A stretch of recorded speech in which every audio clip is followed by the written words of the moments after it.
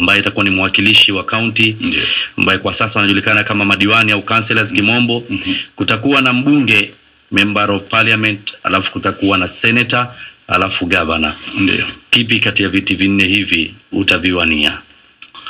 Kwanza watu wangu wataka nini niwe nini? mm -hmm. Jambo la kwanza. Jambo la pili, mwenye pupa hadiriki kula tamu. Tumezungumzia hapa awali, tumezungumzia kuwa tusiwe ni bendera tofata upepo, tuunde gari letu, chombo chetu, kazi yao wasio wa- barabarani, iwe sisi ni shirika kwenye serikali hiyo. Kabla hajaunda gari, vipi mimi nitasema ninataka nini? Na itakuwa si sawa mimi kama kiongozi na mtumishi wa wananchi kujitakia. Wanaojitakia tunawajua wazi wazi, lakini tutakwenda mashinani, tutashauri wananchi, kwa sababu Mvita ni watu wangu na wao ndio wamenituza. Leo wameniambia niendelee Mvita, lakini pia kuna vilio kila pahali, lazima niende nifanye survey vilio hivi vya kweli, na mimi najua umuhimu ya kuwa gavana ni muhimu sana, kwa sababu kila mmoja sasa atakwenda kwao makwao kujenga maeneo yao. Nafikiri pia sisi tuzingatie, tuanze kuungana kuangalia maeneo yetu yamejengwa.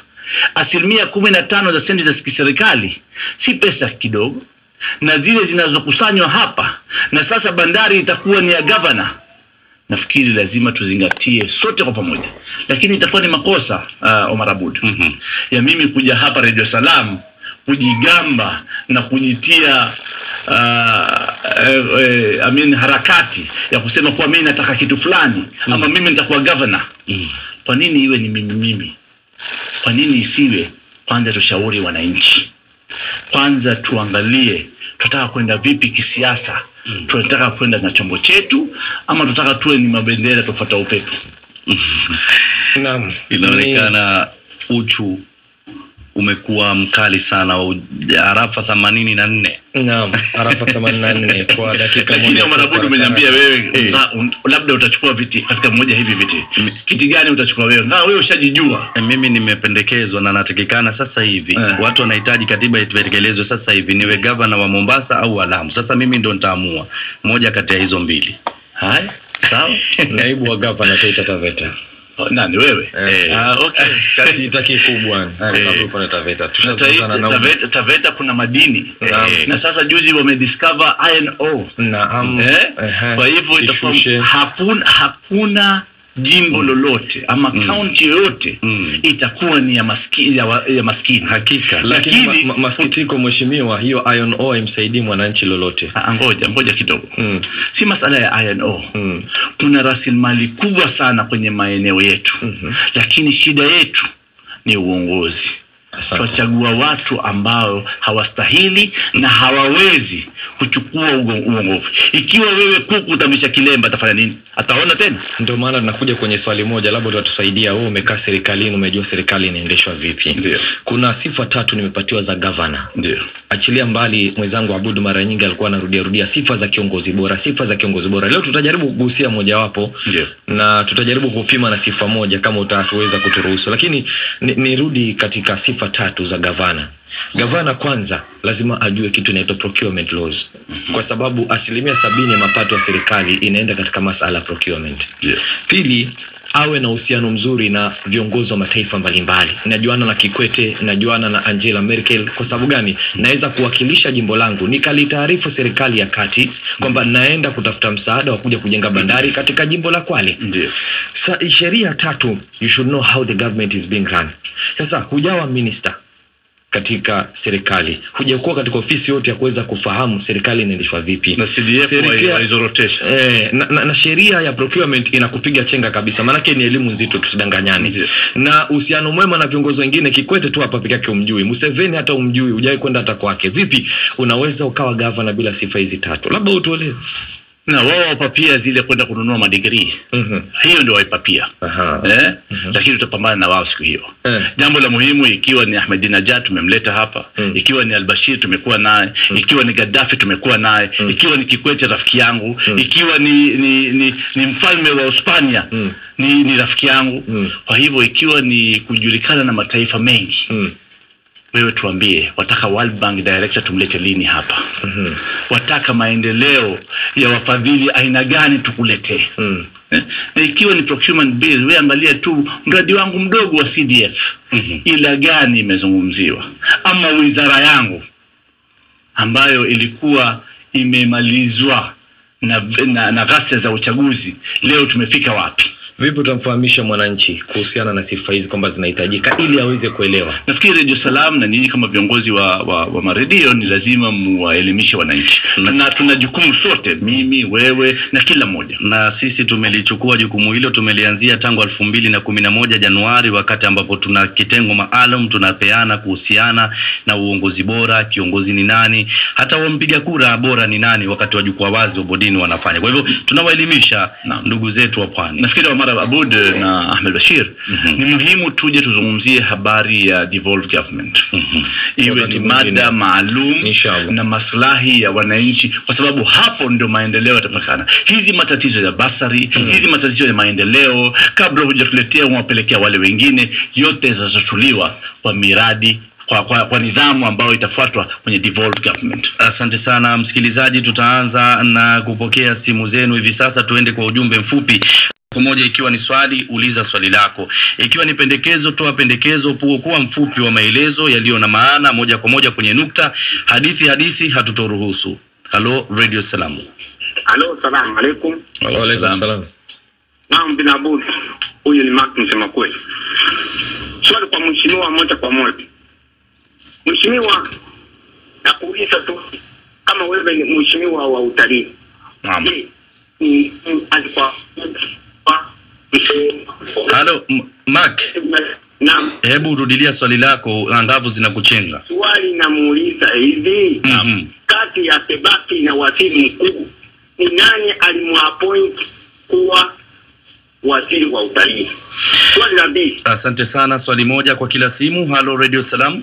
Halo, salamu alaikum warahmatullahi wabarakatuh. Waalaikum salam. Shebe wa Kingorani. Shukran. Swala la elimu Mhm. ni kwamba tunaomba sisi watu wa kaunti ya Mombasa tuwe na national school iwe hapa Mombasa kama ilivyopendekezwa, na pia tuwe na shule ya wanafunzi wa kazi za mikono na za kiufundi. Shukran. Asante sana. Halo Radio Salam. Salamu alaikum, Omar Abud, Ahmed Bashir na Mheshimiwa Balala. Waalaikum salam. Mimi naitwa Salim Bajaber. Karibu sana Bajaber.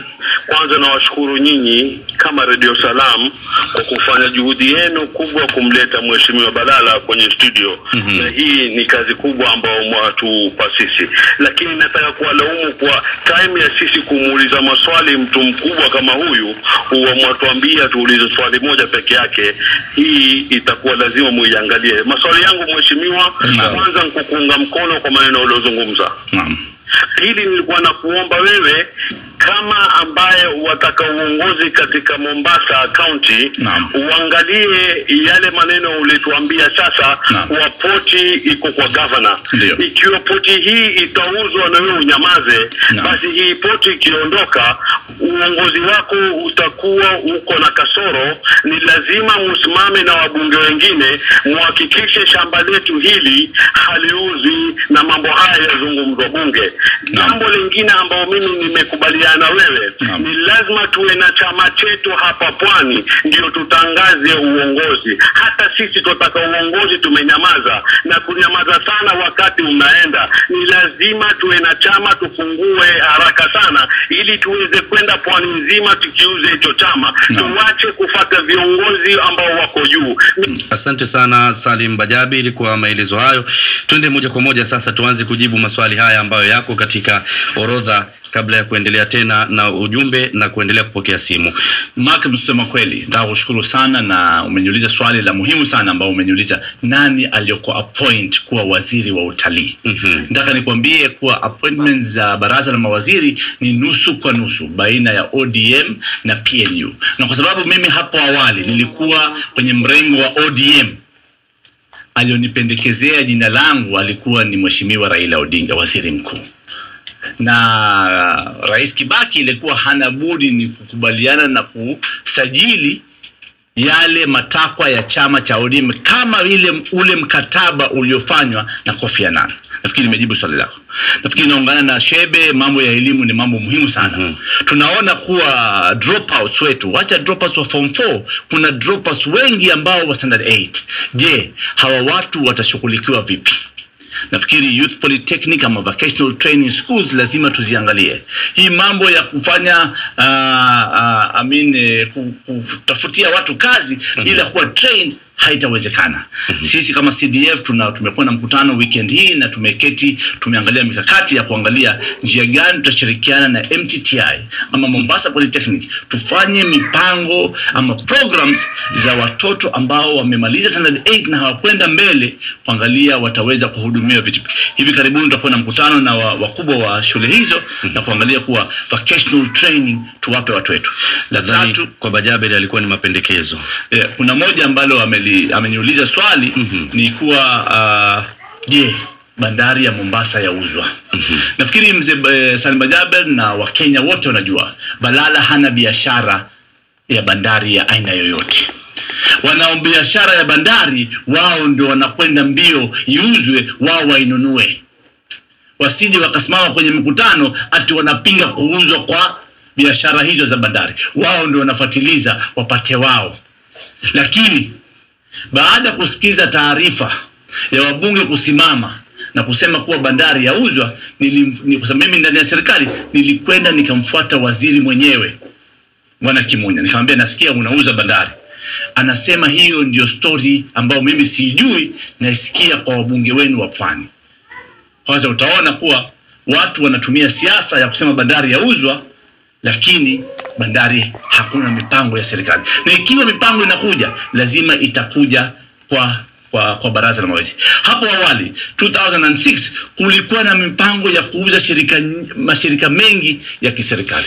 Lakini kuna consultancy ambazo zimewekwa za kuleta ripoti ya shirika gani iuzwe vipi iuzwe na vipi itaweza kutekelezwa. Mojawapo ya shirika hapo baada ya sisi kufukuzwa kazini 2005 u- ya kuuzwa ilikuwa ni ya bandari ya Mombasa. Kabla ya kuuzwa, lazima ripoti ije kwenye baraza la mawaziri. Mpaka sasa nataka kuhakikisha wananchi haijaletwa, na nimesikia mwisho wa mwezi huu ripoti hiyo italetwa mjini Mombasa. Kutaalikwa watu wote wa Mombasa ama watu wote wa pwani kuja kupeana maono yao juu ya ya bandari ya Mombasa. Hivi vitisho vya kusema bandari yauzwa, kila baada ya miaka miwili tutasikia bandari yauzwa. Wanaonunua mambo ya bandari, wanaofanya biashara bandarini si Balala wala watu wa Mvita. Watu wa Mvita wanatafuta kazi, makazi bandarini. Mimi nimewaambia ndio moja ambapo kitu ambao nime, nimeona ni tumehainiwa juu ya ahadi ya kuwa bandari ya Mombasa itakuwa ni bandari huru ni kwa sababu kulikuwa na mipango. Ikiwa ni bandari huru, basi makazi mengi yatapatikana, lakini ikiwa ni kubadilisha bomba- bandari itoke kwa mikono ya serikali na kupeana mabepari waweze kuleta madawa ya kulevya, hiyo mbinu mimi sitaiunga mkono na ikiwa ni watu wa serikali wanaunga mkono ama wao wanapewa mabriefcase huko, tutawapiga vita kila pahali. Twende katika ujumbe mfupi, anasema Honorable Balala, yupi afadhali baina ya Ruto na Raila? Mbona hujasikika kuhusu Waislamu kupelekwa Uganda? Kapelo Lungo anasema nikiwa naelekea uwanja wa ndege, safari ya kuelekea nyumbani Italia. Mwingine hapa anauliza katika ujumbe fulani, anasema mbona zile kazi unazopeana zote? Anasema wapa wawapa anasema jamaa anasema jamaa mala. Mpwani ni mwaboza tu kwa ajili ya kumwonyesha. Joho Tululu huyu. Tululu. Haya, wacha nijibu hiyo ya kwanza Mm, eh. mm. Eh, kwa kweli eh, Eh, kuna mambo mengi yana- yanafanyika na sisi tunafuatilia na serikali, kwa sababu ukiwa na serikali huwezi kupayuka payuka ovyo ovyo. mm -hmm. Tuna uongozi ambao kazi yao kuzungumzia mchana mambo ambayo yataweza kuleta hisia ya wananchi, na usiku wakaenda wakafanya mambo yao ya kuwapinga wananchi. Viongozi hao mwawajua wenyewe, na lazima muwe tahadhari na watu hao. Pili, mambo ya watu ambao wamepelekwa Uganda na mambo ya Kiislamu, mimi ndio mstari wa mbele kila mara, si mtu yoyote. Nimeileta, nimeizungumzia kwenye baraza la mawaziri. Tumekuwa na mkutano na wabunge wa Kiislamu